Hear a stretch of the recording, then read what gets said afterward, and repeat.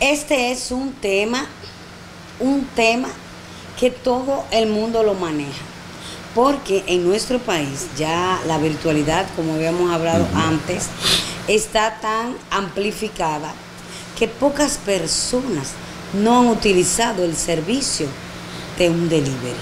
Oh. Miguel, con la apertura de la, del internet y la virtualidad de que todo se compra por internet, ese delivery que hasta hace poco era una persona eh, prácticamente insignificante, venía a llevarte el producto, se iba, tú ni siquiera le mirabas la cara, ni siquiera le preguntabas, no te importaba si estaba bien vestido, si nada, porque la compañía se aseguraba de que fuese una persona, ¿verdad?, bien seleccionada.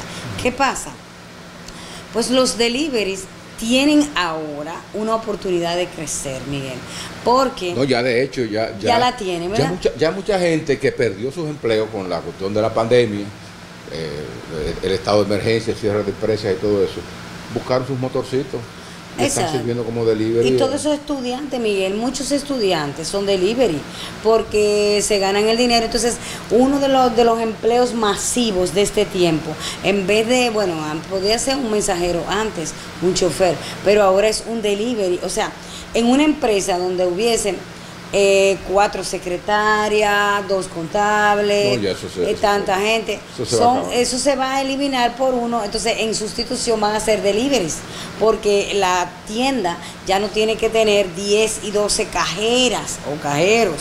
Por ejemplo, puede tener 3 o 4 y entonces ese, ese, ese personal sustituirlo por deliveries, porque la gente está utilizando mucho este servicio. Entonces, debe haber su depuración, sí. Que ya no sea el delivery que va a estar de manera masiva, porque esa es la novedad. Es que el delivery ahora es masivo. Hay muchos deliveries que van a llevar mercancía a las casas. Entonces, ahora las empresas tienen que tener una doble protección y a la hora de seleccionar a estos muchachos, tratar de que no sea Que no ese tratar de que no sea ese muchacho del campo que usualmente venía a la capital, no, no tenía estudio, te- estaba en sexto curso, séptimo, octavo, no tenía, na- no tenía nada. Entonces a ese era que tú ponías como delivery, pero ahora, en este tiempo que hay tanta solicitud, Miguel, debe ser un estudiante, un muchacho Pero que, mira, déjame decirte que algo. esté preparado y que no tenga ningún tipo de problema con la justicia. Déjame- no ese muchacho que robó ayer, robó antier y entonces no tiene nada que hacer y tú lo mandas a la casa. Sí, y o la sea, eso gente que utilizaban los motores para atracar, bueno, pueden, pueden, Miguel, pueden disfrazarse. la gente en las casas, hay gente que es muy cuidadosa, pero hay personas que dejan la puerta abierta, la trabajadora deja la puerta de atrás. eh, entonces, si el muchacho ha cometido delitos y entonces la muchacha deja un dinero en la mesa Reincide, y eso, reincide. y lo dejan subir al apartamento, ¿verdad? Reincide. Entonces, ahora debe ser la selección mucho más cuidadosa para asegurar de que el delivery, ese delivery que tanto necesitamos, que tanto queremos Sí, que nos traiga la, la mercancía, sea un, un buen muchacho, que, que tú le puedas dar una propina porque lo ve la cara de estudiante, de muchacho que quiere progresar. Y ese tipo de empleo va a subir. Sí, pero también, oye bien, eh, en este caso, o sea, la- las cosas nuevas, los oficios nuevos que tú estás viendo, pueden que tengan un, un largo desempeño, un umbral de par de años, ¿verdad? Pero las cosas van tan rápido en la humanidad, van cambiando tanto, que ya esos delivery van a ser sustituidos, los humanos, por drones.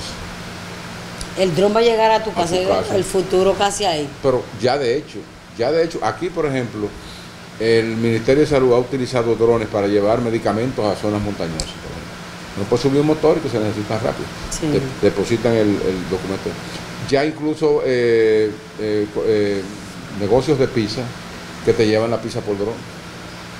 Te la llevan por dron y dicen, Sí. Doña Wendy, aquí va el dron a su Aquí casa". está. El dron se mete por cualquier parte. te- Tú recibes tu dron eso, eso y- y se certifica que te está entregando el asunto a ti porque ya también hay una el dron tiene cámaras Ahora, Miguel, que te eh, va o sea te va que te va certificando que el, que el dron está entregando la mercancía una pregunta que debe estarse haciendo todo el mundo. ¿Qué personas, Miguel, solicitan los drones para que le lleven mercancía?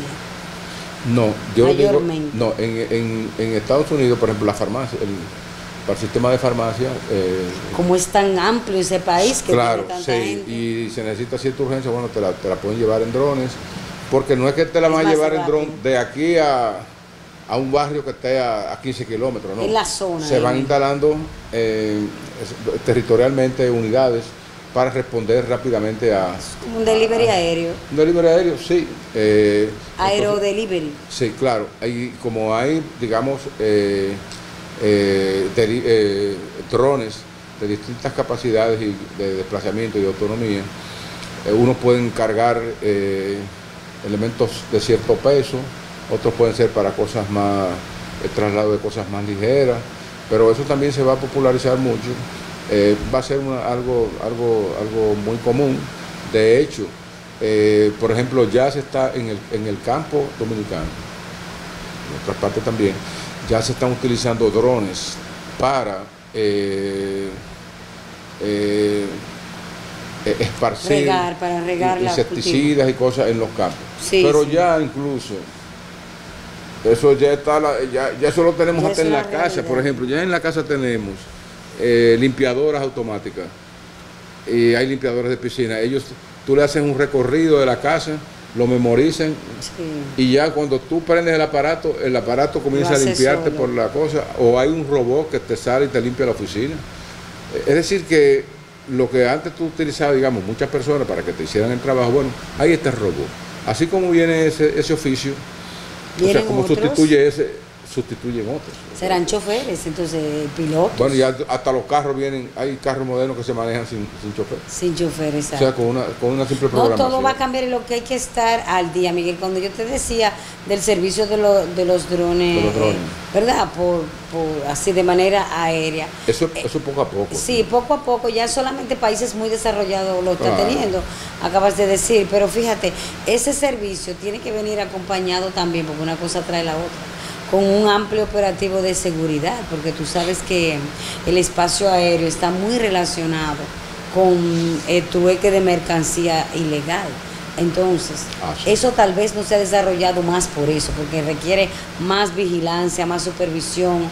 Oye, es una maravilla que te lo traigan por aire, Sí, por mar y por tierra. dices, Cuando, te- cuando viene a ver mandan otra cosa. Pero eso necesita mucha supervisión. Sí, te mandan muchas cosas. Lo que pasa es que Estados Unidos, ellos no tienen límite, todo se puede ahí, ¿eh? La mente científica todo lo hace posible y la mente técnica, No, y la, misma- y tecnología. la, misma, la misma tecnología te permite incluso eh, hasta identificar el tipo de paquete con inteligencia artificial, Exacto. el tipo de mercancía que tú Como si fuera un aeropuerto. Bueno, pero tú ves que tú ves que ya aquí, por ejemplo, en los muelles, en muchísimas partes, hay uno, uno, uno- unos escáneres, unos sí, que detectan que, te, que le atraviesa, digamos, la, la masa de acero de un, de un- de un furgón y sabe qué es lo que hay dentro y, qué, Sí. y si puede haber droga o qué tipo de sustancia Exacto. hay. No, y que las por dentro. Sí, por dentro, como las máquinas de los aeropuertos. ¿sabes? Sí. Entonces, eso, eso, Bueno, esas tecnologías se van, digamos. se van desarrollando. Ojalá que Claro. llegue rápido aquí, rápido, Sí, para claro. que el servicio llegue eh, inmediatamente y estemos bien desarrollados y nuestros jóvenes puedan también aplicar esa tecnología, trabajar y desarrollarse y seguir siendo emprendedores como va bien avanzado ahora mismo. Seguimos con más entre periodistas.